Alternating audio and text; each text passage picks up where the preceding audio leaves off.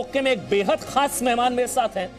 उनको पूरा देश आज सुनना चाहता है समझना चाहता है क्योंकि मध्य प्रदेश का किसान खुश है इस कृषि कानूनों से।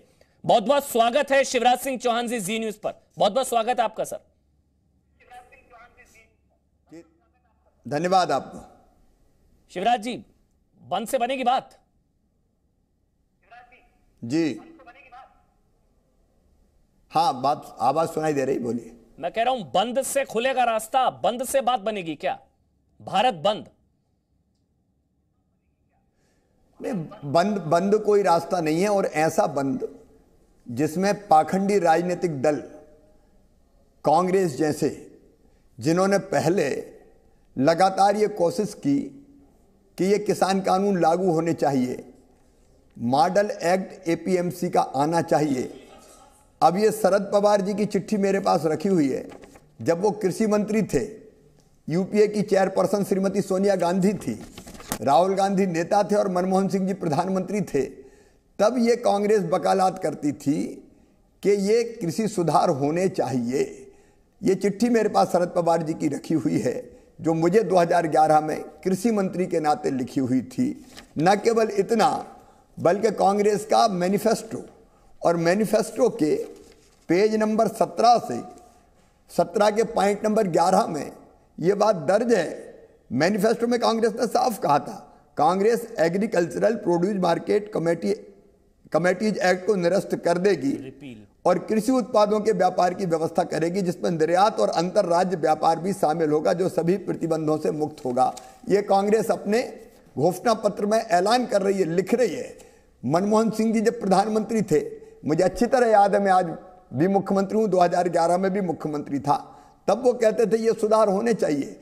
अब जब ये किसानों के हित में सुधार करने का एक भागीरथी प्रयास श्रीमान नरेंद्र मोदी जी ने किया तो अब ये सारे पाखंडी राजनीतिक दल, इनमें चाहे आप हो, केजरीवाल जी तो अराजक मुख्यमंत्री है, बिन पैंदी के लोटा है शरद पवार जी की राष्ट्रवादी कांग्रेस पार्टी वो समर्थन करती थी, डीएमके, टीएमसी अखिलेश की पार्टी मुलायम सिंह जी खुद ये सब समर्थन करते थे। आज एकदम बदल गए कि ऐसे पाखंड से किसानों का भला होगा। ये किसानों को केवल भ्रमित करने का काम कर रहे हैं और किसानों के नाम पर केवल अपनी राजनीतिक रोटियाँ सेंक रहे हैं इनको सबको पता है कि प्रधानमंत्री श्रीमान नरेंद्र मोदी जी से वो मुकाबला मैदान में नहीं कर सकते। इसलिए किसानों की आड़ में अराजकता अराजकता की आग में देश को झोंक दे ये षड्यंत्र कर रहे हैं। इस बंद से रास्ता नहीं निकलेगा। रास्ता निकलेगा चर्चा से। और मैं एक बात और ज़ोर दे के कहना चाहता हूँ, पूरे देश में कहीं किसान कानूनों का विरोध नहीं है, अपवाद छोड़कर। मध्य प्रदेश में विरोध नहीं है मध्य प्रदेश के किसान खुश है। कांग्रेस ने आज पूरी दम लगा ली पूर्व मुख्यमंत्री सहित दिग्विजय जी जैसे लोग, कई लोग निकले, कई किसान साथ में आए क्या? लेकिन जहाँ किसानों को दुविधा है, शंका है, सिंधु बॉर्डर पर जो मेरे भाई और बहन किसान हैं, मैं उनसे भी अपील करता हूँ कि सरकार ने बात का रास्ता अपनाया है। वंद नहीं, चर्चा से समाधान निकलेगा। खुले दिल से चर्चा करें। एक भी किसान अगर खुश नहीं है, असंतुष्ट है तो उससे बात करके रास्ता निकालने का हर संभव प्रयास किया जाएगा। क्योंकि प्रधानमंत्री नरेंद्र मोदी जी जितना किसान हितैषी आज तक कोई हुआ मुझे नहीं। एक चीज़ का जवाब अगर आप दे दें, शिवराज सिंह चौहान जी, मध्य प्रदेश के किसान खुश हैं इस कृषि कानूनों से, जो कृषि सुधार कानून है। मध्य प्रदेश में आप ठीक तरीके से फ़ायदे किसानों को समझा पाए। केंद्र, क्या ये कम्युनिकेशन फेलियर है कि सेंटर आप कह रहे हैं किसानों के हित के हैं ये कानून? तो क्यों नहीं समझा पाए? फ़ायदे किसानों को क्यों नहीं समझा पाया केंद्र? आप समझा पाए। क्या सेंटर का कम्युनिकेशन फेलियर है? मानता सेंट्रल ने लगातार चर्चा की है, लगातार बातचीत की है, शंकाओं का समाधान करने का प्रयास किया है। और मैं साफ़ तौर पे कह रहा हूँ, मध्य प्रदेश का किसान हो, देश का किसान हो अधिकांश ये मानते हैं। अब बताइए मंडी बंद नहीं होगी? खरीदी जारी रहेगी मिनिमम सपोर्ट प्राइस पर। मंडी को और स्ट्रेंथन करेंगे इंफ्रास्ट्रक्चर को और बेहतर बनाएँगे। मध्य प्रदेश में हमने मंडी चालू रखी और मंडी शुल्क पचास पैसे कर दिया। लेकिन मंडी के अलावा अगर मंडी के बाहर कोई किसान अपने घर पर बेचना चाहता है किसी को क्या आपत्ति हो सकती है अगर अच्छा रेट मिल रहा है तो, तो फिर ये किसी एक्सपोर्टर को बेचना चाहता है? ये तो बिचौलिया क्यों बीच में आए? पिछले किसी प्रोड्यूसर को बेचना चाहता है? तो बिचौलिया क्यों बीच में आए? और इसलिए प्रति, प्रतिस्पर्धी रेट मिलेंगे किसान को, मंडी और प्राइवेट सेक्टर में प्रतिस्पर्धा होगी और प्राइवेट सेक्टर में आपस में भी प्रतिस्पर्धा होगी। तो एक आसान सी, साधारण सी बात है कि किसान को अच्छे प्रतिस्पर्धी रेट मिलेंगे।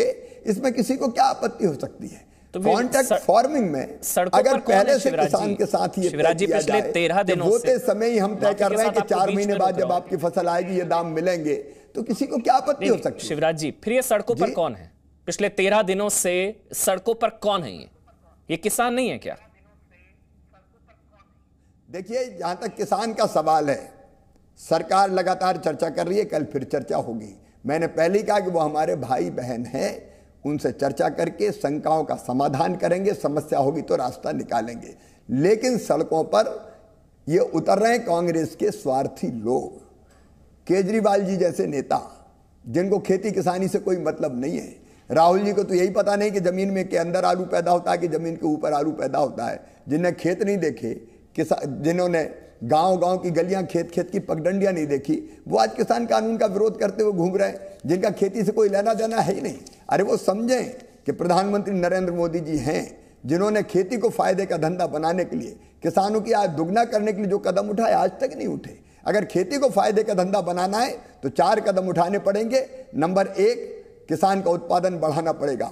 उसके लिए अनेकों प्रयास प्रधानमंत्री जी ने किए, चाहे सिंचाई की योजना की बात हो, चाहे अच्छे बीज का इंतज़ाम हो, चाहे नीम कोटेड यूरिया हो, या जो फ़सल की पद्धतियाँ उनमें बदलाव का मामला हो, किसान को उत्पादन में लागत कम लगे इसकी कोशिश करनी पड़ेगी। सॉइल हेल्थ कार्ड जैसे कई प्रयोग उन्होंने किए हैं। जो किसान को वाजिब दाम देना पड़ेगा। एक- एक सवाल का इसलिए जवाब कानून दीजिए, लाए जो गए और मंडियाँ आप भी मुझे चालू रहेंगी। एमएस एमएसपी भी चालू किसानों को क्यों नहीं समझा पा रही आपकी सरकार? किसान सड़क पर क्यों केवल नहीं तेरह दिन पाँच दौर की शिवराज आपको नहीं गिना रहा। मध्य प्रदेश के किसानों को और देश के किसानों को गिना रहा हूँ। देश के किसानों को गिना रहा हूँ। और देश के किसान समझते हैं तभी इस आंदोलन में सड़क पर उतर के नहीं आए। तो ये सड़क पर कौन है फिर?